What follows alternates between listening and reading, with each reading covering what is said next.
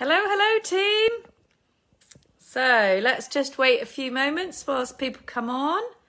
Lighting's a bit shady today. I guess that's uh, the beauty of the sun moving round as we head towards the autumn. Still got the little uh, dung beetle behind me. Right then, guys. So how are you? How are we? Hey, Katie. Lovely to see you. This crazy Saturday. Right, so just giving a few moments for people to be able to come on. And, um, well, wonderful to see you guys and uh, happy Saturday. So, one of the things I wanted to explore today on our little Saturday sanity surgery is who you need to be as we come into September. So, um, new month, had the end of the summer, and it's really exploring as you're coming up to a, a new period in your kind of business quarterly period, what do you need to be? Who do you need to be? And to start off with, I think what's really helpful here is almost imagining yourself walking into a room. And so as you walk into a room, the first thing that you need to be doing is looking at your mindset. Are you going to be walking in where you're looking forward to it? Are you walking into it whether you're dreading it? Are you walking in where actually you've got a few misgivings? What you think about the next chapter will absolutely set the context for how you then perform, how you then approach things, what you're thinking about things, how you feel about things. And as we've discussed before, what you think affects what you feel, which affects what you behave. So if you imagine you're walking into that room, so who do you need to be? Who do you need to be for this next chapter? This all has to start with initially what are you thinking? What's your mindset? Is it a stellar mindset? Is it a really strong mindset where you're going in ready to win, ready to be powerful, ready to ensure that you are absolutely going to get every opportunity out of this next period?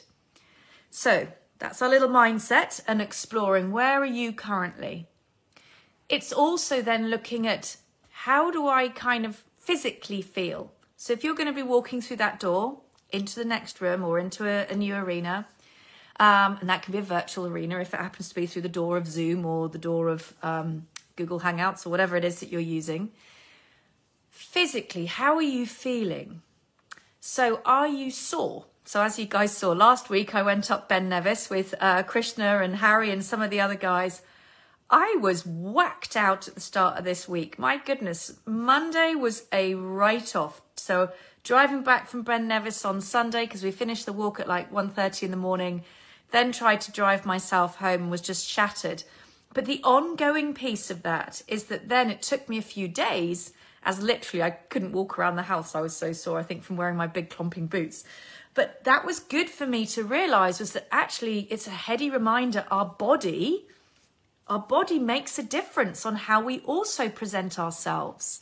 So, are you looking after yourself? Are you eating well? The two biggest nervous systems in our body are our brain and our gut. Yes, some are a little bit larger than others after uh, COVID. Um, so, but those are our two pieces. And so they speak to each other all the time. We're used to the idea that our brain will be telling us, oh, I'm hungry. But actually, what you feed in your gut then also feeds your brain. So coming back to that idea of the strong mentality and the strong, you know, psyche that we're going to need as we step into the next chapter is are you preparing yourself well? Are you eating the really great foods that are going to nourish your body? Make sure that you are feeling physically strong. I've done my sit-ups this morning feeling quite good about that.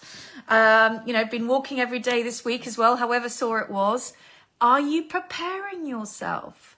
Are you ensuring that physically, we've talked about the mental briefly, is yes, looking at our mentality, looking at our headspace, looking at our mindset towards how we're approaching. Now is looking at physically, what are we doing to support ourselves? Even as simple as like last night, my parents very sweetly took, um, we went out for dinner with a lovely guy who took us out for supper because he's about to go and have heart surgery. But we went to a place that had no vegetarian food. I'm allergic to meat. great as an agricultural student and someone who spends so much time in Africa. But apart from that, I'm allergic to it. But there was nothing else apart from some fish on the menu, so I had some fish. I was up through the night with stomach cramps, feeling sick, not being able to, um, morning Beth, not being able to actually sleep and rest last night. So that meant actually this morning I wasn't on as good form as I should have been. I capitulated yesterday rather than just saying, yes, please, may I have some salad and chips or something? And so that again was that was me maybe not being as cognizant about what I could have done to support my body. We're then looking at our presence. So, literally, what is the presence that you want to create as you walk through that door into the new arena with people? Are they people you know well? Is it going to be a very relaxed, hello, how are you? I mean, I love it when I'm chatting to the guys who I'm coaching with during the week. It's my favourite part of the week It's because we get to know each other so well over time. Some of the guys I've been working with now for a year and a half, and those can be ladies and men, I hasten to add, that's not a, a gender differentiation. But so, you know, I love that. And actually, they're really relaxed, which was hysterical when I started working with um, one of the guys I'd actually been at uni with, believe it or not.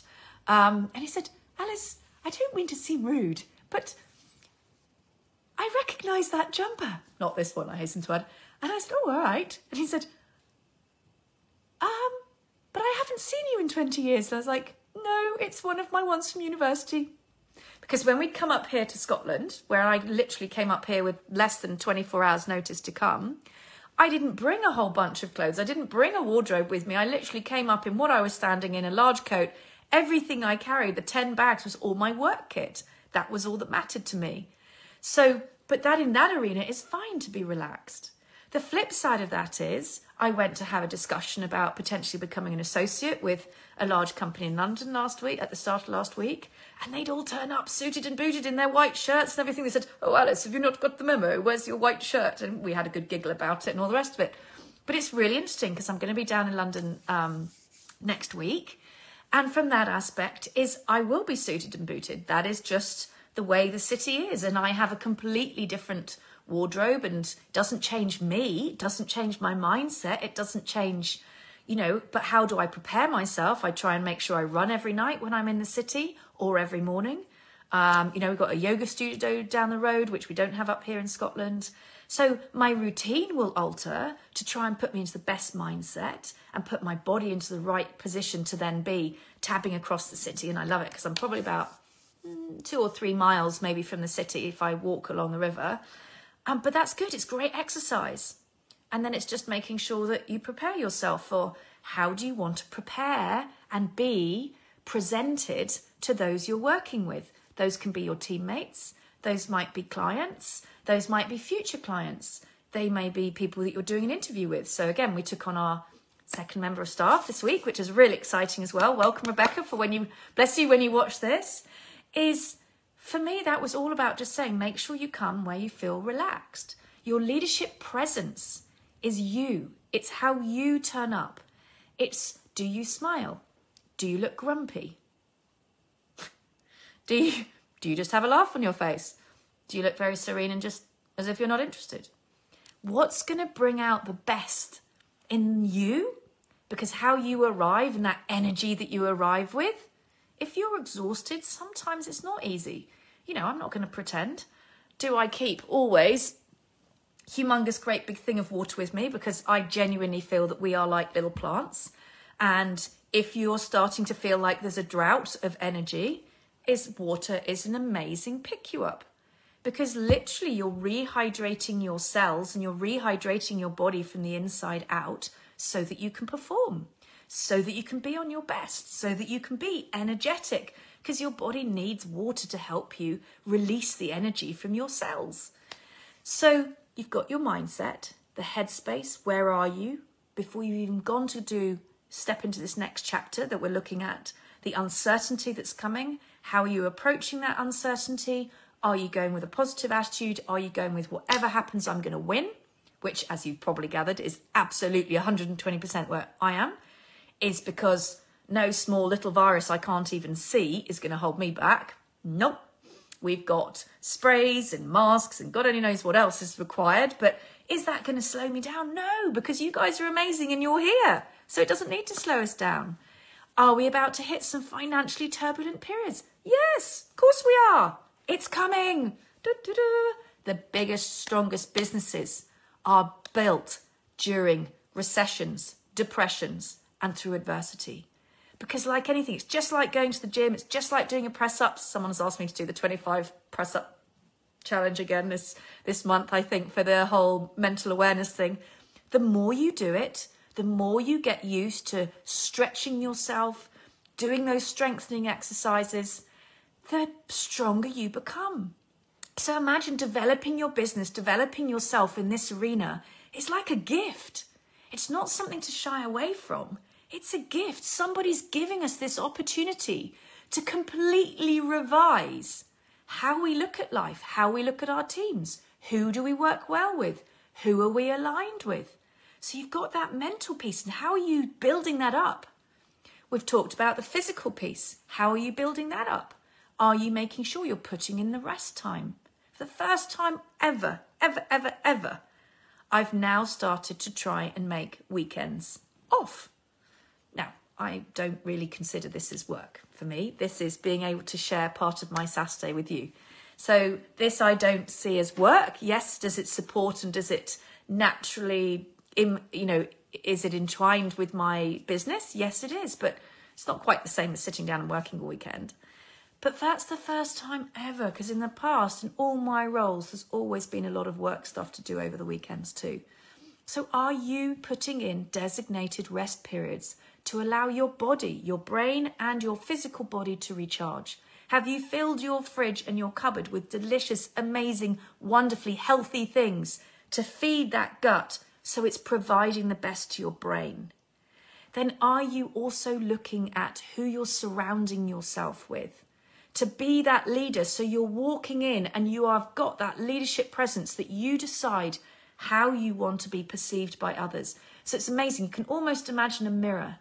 And our business is a mirror of ourselves. Your business will never grow bigger than your own personality. It will never grow bigger than your identity. So, how you decide to turn up, that presence that you're going to give, be it whether it's virtual or in the physical domain, the presence you provide, that will be whether or not your business continues to grow. Or can somebody see you're nervous? Can somebody see you shrinking back? You know how they always say you give a task to a busy person. It's because you are already demonstrating the momentum of moving forward when I work with the clients who sometimes, yeah, they'll have weeks where they haven't really made the progress, which was hysterical yesterday. I had one of the CEOs I work with yesterday said, Oh, Alice, I, I haven't done my homework. Bless him. Well, good for him. He'd just taken his wife away for a weekend and gone out, you know, being able to just take a few days away. And instead, that meant that he came with a completely fresh mind. It didn't matter the fact that he hadn't done his homework. He came with the presence of wanting to make a difference. So we planned training for his staff, we looked at some of the internal conundrums they were having, and we used the, the time wisely, just in a slightly different manner. And so that leadership presence piece is also exploring how are you responding to your staff? This is such a nerve wracking time for some people. Furlough is coming to an end if you're in the UK. Um, we've got the end of some of the payment things for things like, for example, taking mortgage breaks coming to an end. We've got Brexit coming up in the States. You've got the um, American elections coming up. They've still got a lot of the kind of financial and the food issues in Africa. You've got all sorts. We've got the different changes in um, Israel and with the Middle East, and some of those, you know, the all of these different aspects changing. But we're the same human being. So as the things around us move, what's so critical is that we create that stability for our teams, that we create that consistency and continuity for our teams, for our families, and for ourselves. Setting up a stellar routine, making sure that you know what you need to do. If you need extra help, go and find it. My goodness, there's no reason in this world any of you guys shouldn't have someone else to help you grow your business if you need it. Because there are lots of people now who don't have jobs. And if you're one of those people who doesn't have a job and you have done in the past, go and seek out an area that's of growth because the money is still there, but it's potentially moved.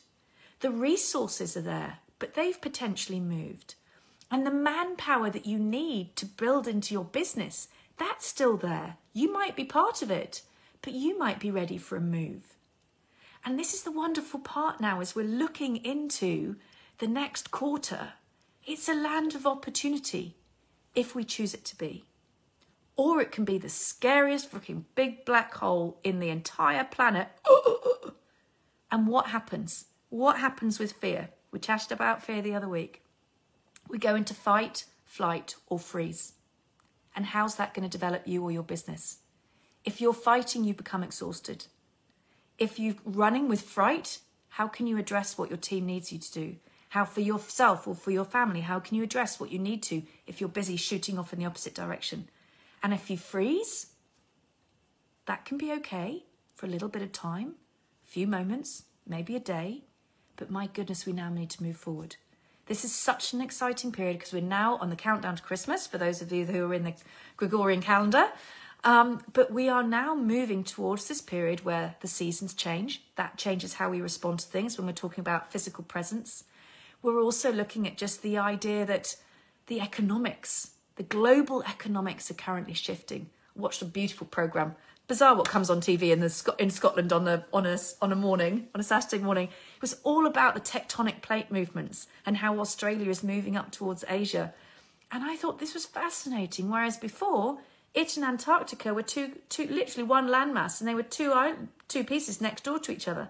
And over time, Australia has moved up towards Indonesia, and Antarctica has obviously become colder and colder. And as it's moved north, um, Australasia has then become warmer and warmer and is now moving towards the tropics. Change happens. Change has been happening for millennia. If you're waiting for a day where there's not going to be any change, you might be waiting a little while. So instead, let's embrace it. Let's find the opportunities in that change. Let's work out how things can be moved forward, even as simple as the crazy little Facebook where they've changed everything. I couldn't find anything for two days. It's like, ah, I've only just started to learn how to use it. What's coming up for you? What's coming up for you where you know there's potentially going to be a change? Is that going to be a change in your financial system? How can you plan around it? Is it a change in your job role? Have you got new people coming on board? Is that going to mean you're going to have to change things there? Is the remuneration structure potentially going to be changing in your business? When are your quarterly returns due? So I know over the next couple of weeks, for example, quite a few of the companies I work with have got their next quarterly returns coming in. So you need to be able to explore how are you going to present those. So is who is the leader you need to be? Who is the leader you need to be for this period? What's going to bring out the best in you and what's going to bring out the best in your team?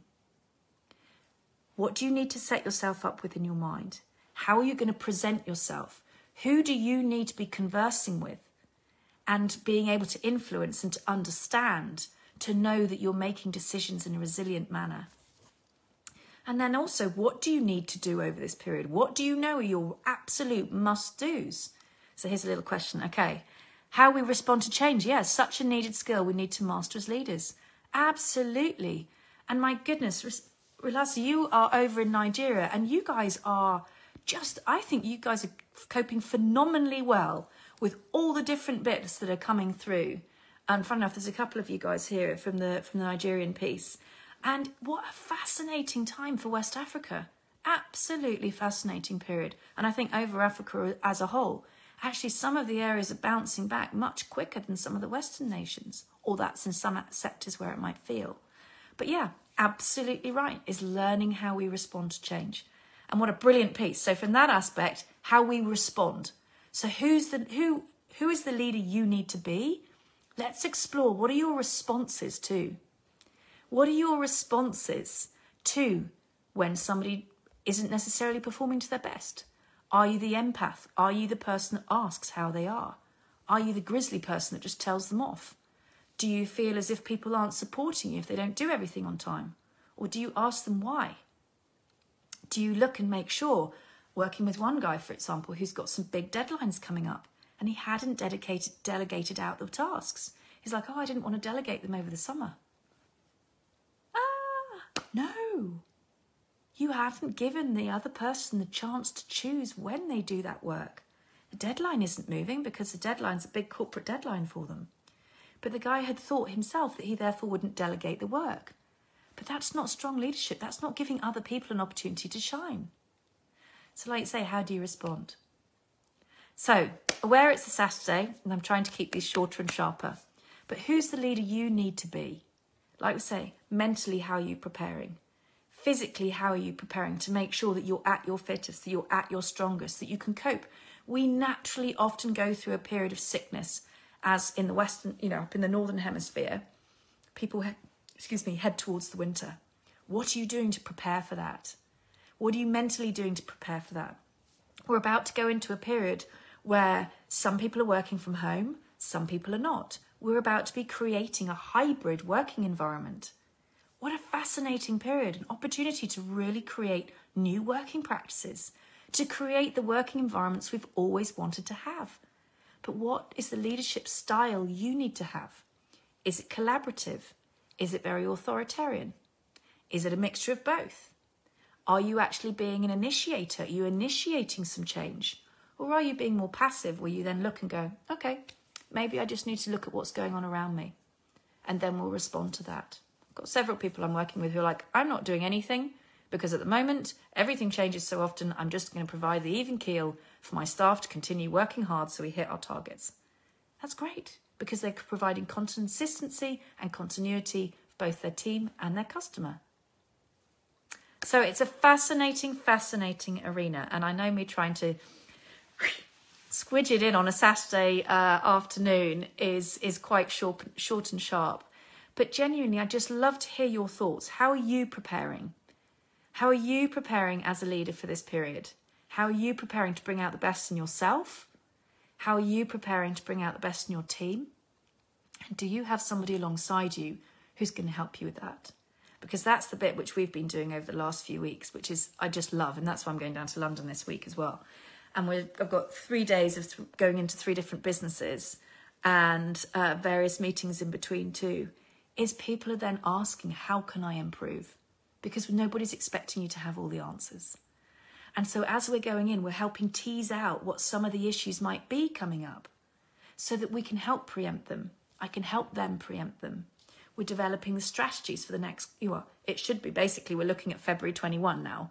So relatively speaking, if you haven't got a strategy for this quarter, give me a call pretty quickly because you should. no offense, but you should already have a strategy for now. If you don't, you've got the rest of the weekend. Start scribbling very quickly, round about now. But alternatively, is we're now looking out to, and even February is short term, but the next six months is a very tangible way of past Christmas, past the New Year, into the you know into February time is it enables you to be able to look at those short term goals. when I'm saying short term goals, I mean literally kind of the next six months. What do you need to do to bring your, your business through this period? And then what are you able to do into then, you know, we can cover that later as was wanting to do into the 18 month, multiple years. So, yes, that's the kind of broader strategy, but for the here and now, because that will then show you what you need to do this month. And literally last night, I did my own where I did a sanity check and I do it every month in fact, I do every few weeks. I literally go month by month, check week by week. What do I need to do to achieve the business goals that I want? What do I need to do to support the teams that I'm looking after? What do I need to do to make sure that I've got space to come and work with more of you guys? Is what do I have to put in place? And that's why I've brought on Rebecca this week. Is the first thing I realised over the last few weeks is I can't do it alone. Lovely Mia, who has also been working with me now for six months, oh, amazing, but between us, we can't cope with the volume. So what do we do? Do we reduce the quality of what we're supporting? Or do I take a risk and take on a second person? I've taken the risk and I'm taking on the second person because I know that for me, value to the people I work with is absolutely paramount. And I know that also I'm learning now, post military, to look after myself better. And when I've tried to do it for six weeks now over the summer, with trying to do more myself, I haven't been able to keep up in their case, the natural piece was to take on a new person. Or you reduce the workflow. Well, I don't want to reduce the workflow because I'm here to support you. So if I'm going to increase the tempo, then I increase the support. So it's things like that where you can start to see the pinch points. You can start to see where you might have some different pieces over the next few months. People going back to school, people with half terms, um, you know, big, say for example, end of the financial year. Some of the guys we're working with have got financial year end this side of Christmas. You know, all of those different things cause different junctures. In fact, one of the guys I was chatting to yesterday, their end of financial year is on Monday, so it's right now. And so, of course, I was like, okay, so have you got all your invoices out? Has everything gone, etc., etc. It's always interesting seeing all those things. So let's do a little planning. What is the leader you need to be? And please drop below anything I can support you with, thoughts that you've got on how you're preparing, areas that you've got for concern. So what are areas that you think you could really help kind of, you know, develop better as we head into the next quarter? And if there's anything I can support you with, as always, I'm here whether I'm here or in London, but have the magic phone, which means I can pretty much chat to you wherever you are in the world. And we're here to support. So have a wonderful, wonderful few days and speak to you soon.